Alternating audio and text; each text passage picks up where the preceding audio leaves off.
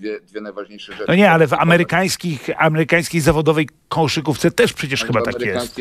Ale w amerykańskiej zawodowej koszykówce to w ogóle nie możemy o tym mówić, bo powiem coś innego. W amerykańskiej zawodowej koszykówce nie ma spadków. Można sobie kupić miejsce w ekstraklasie, grać w niej cały, cały czas. Zawodników, zawodników się czasami kupuje na aukcji. Nie zapomnijmy, że słynny Michael Jordan e, trafił do Chicago Bulls na zasadzie aukcji, prawda? Była aukcja x lat temu i jego wybrano, jego trzech, na trzecim, czwartym miejscu został wybrany. Tam, gdzie nie ma spadków, to jest w ogóle inna liga. Amerykanie mają inną mentalność, podniecają się czym innym, inaczej na to patrzą. Natomiast no, pewnie